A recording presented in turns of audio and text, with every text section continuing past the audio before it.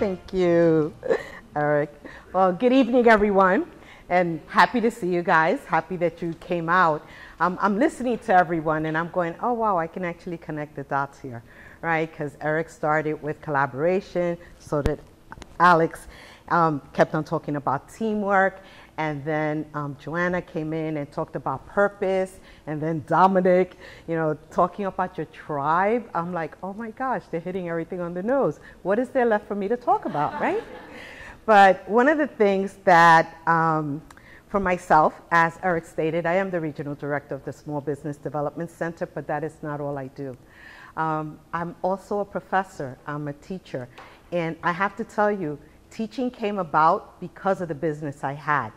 I had a direct mail business and I realized that I enjoy working with small business, but more so helping to educate them and to move them forward.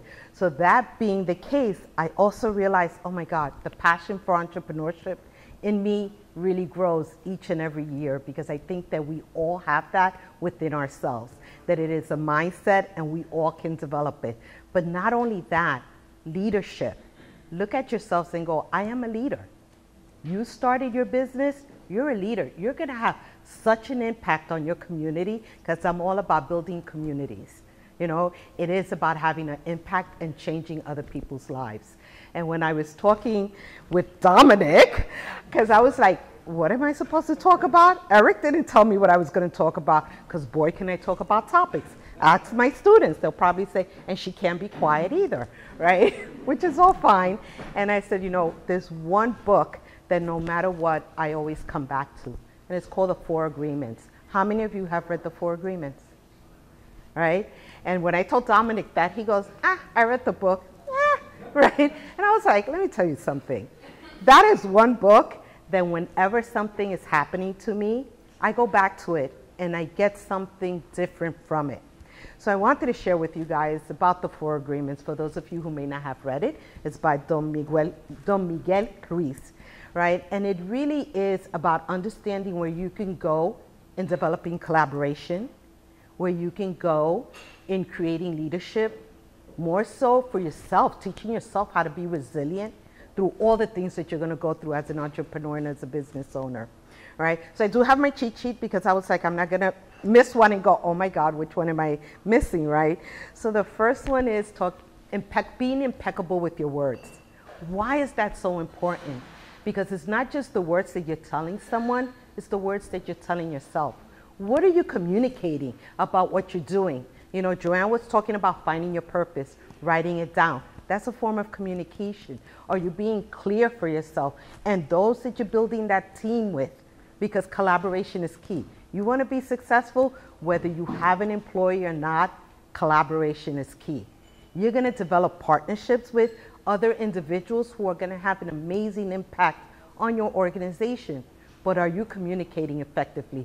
What is it that you're telling them? What is it that you're willing to share? How much of yourself are you willing to share with that, right? And you want to make sure that you do that as clearly as possible. I think we get lost in our words, or we think that our words don't have an impact. I don't know about you, but remember, what is it? Sticks and stone may break my bones, but words will never hurt me. I take that back because you can hit me with a stick, but you say a word, it will have an impact on me. I am one that believes that with the words that we have, we can lift others. There's a saying that goes out there we rise by lifting others. And if you ever read my bio, it's on it. Why? Because I truly believe that. That how is it that we're going to help each other rise as a community, as business owners? It's by how we communicate with each other. And it goes into leadership how are you communicating? You know, what is it the people who are working with you, beside you, or even your subordinates, how are they coming across? What is it that they're getting from you? So that was the first one, right? Be impeccable with your words. Second one is um, not taking anything personally.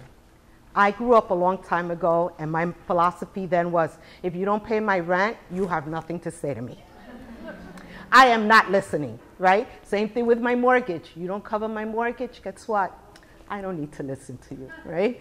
So, but what it really comes down to is as entrepreneurs, we're gonna come across times in our lives where people are gonna tell us no, or they're gonna tell us your idea is not feasible, or whatever excuse And it could be a family member telling you, Are you crazy?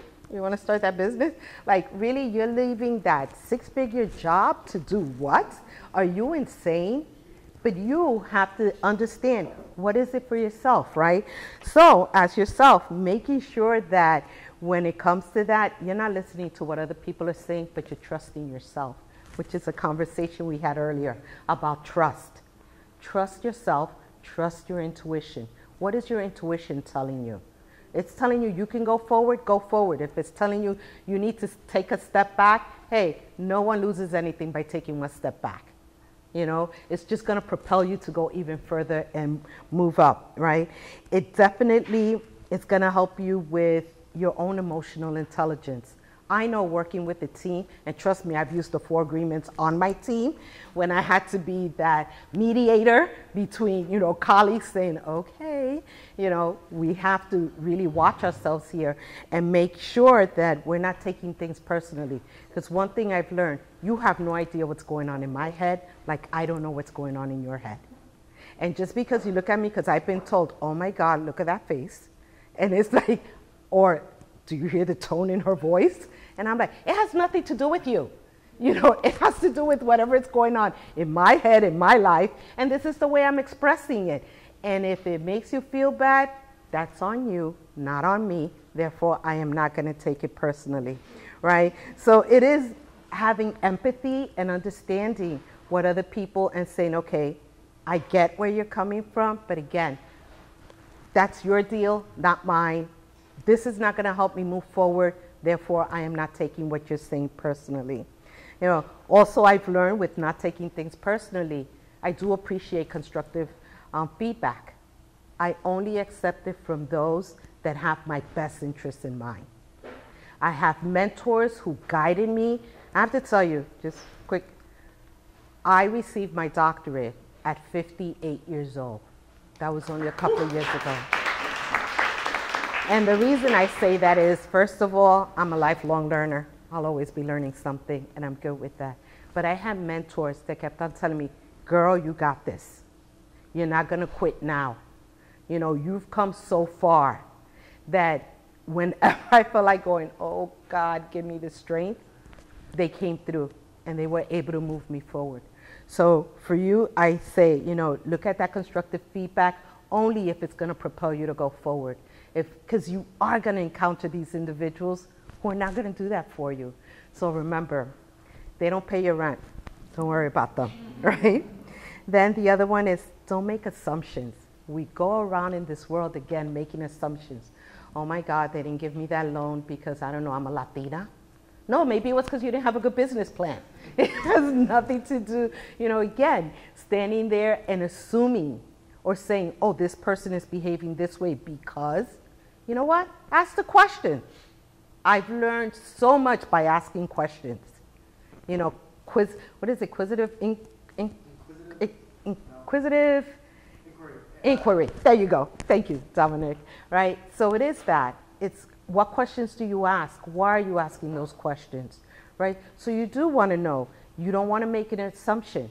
And I do that all the time. I tell people I don't make assumptions. I work on the premise that I know nothing. I don't know you. I don't know what you're saying. You know what? I need you to educate me. I'm okay with that. We come from different places in this huge, big world that we live in. Who am I to make an assumption of you? You know, don't stereotype me. I'm not stereotyping anyone. I don't know who you are. You know, so again, when I look at assumptions, I love to ask questions. I also learn how to listen. Trust me, I can talk. I said that already, right? So, but I also learned that there's a time and place for it, and that there's times that I really have to actively listen, not to respond, but to really get what you're saying. As a regional director of the Small Business Development Center, that's important to me because I want to know what is it that you're trying to achieve.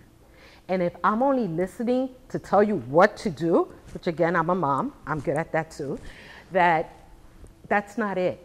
I want to know what is it that you're trying to achieve? How do you plan on achieving it? What recommendations can I give you? But in order for me to give those recommendations to you, I have to stop and listen. You know, and I have to tell you, I was one of those that you would start talking, I was like, oh my God, I need to interrupt because I need to get it out. Then I learned, you know what, Jackie? You age, I'm aging well. That's what I can tell you because I've learned to turn around and go, you know what, honey, take a deep breath, let them finish. And then if you have anything worthwhile saying, say it. Don't say it just for the heck of hearing your voice talk. Really turn around and you want to make sure that you do that. And also, in terms of documentation, Thanks, Eric. Again, telling me you're talking way too much. But no, um, in terms of documentation, by taking the time, you know, not to make assumptions, writing it down. I'm huge, as you can tell, in writing things down, right? Because I want to make sure I get it right. And then the last thing with the four agreements is always do your best. And when I'm talking about your best, your best changes every single day. We don't wake up going, ooh, I'm 150% today. You know, there's times that I'm like, oh my God, 50% and I am lucky. You know, it, this is the way life is. You know, what I was when I was in my 50s, now that I'm in my 60s, two different stories, right? But I've learned to say, okay, I need to make sure that whatever I'm bringing to the table today is the best that I got. Because I, for me, what I do, I'm passionate about. I really feel that helping small businesses is where we need to go. Helping people create businesses as well changes their lives. There's nothing like a client telling you, because you helped me start a business, you helped me become a sustainable business, I am now buying my first house. My children will no longer be growing up in an apartment, now they're growing up in a home. So now we're changing generations. So for me, that's humongous, right? So taking that into account. So when you just combine these four agreements together, think of this. You're creating a culture of trust within your organization, which is what you want more than anything else. I know that when I look for leaders, I want to know that I could trust that leader. Then I could have a conversation with them, that they're being as transparent as they possibly can. If they're not doing that, at this stage, I'm like, nope, don't want to be there anymore. I can walk away, and I'm happy with that. And then it also drives high performance. You know, when you're looking at your businesses and you want to create the best business possible, think about it. Put just those four simple agreements. And trust me, sometimes you want to use all of them, sometimes you just need to use one of them. But believe it or not, it will get you extremely far. So, are we good on time?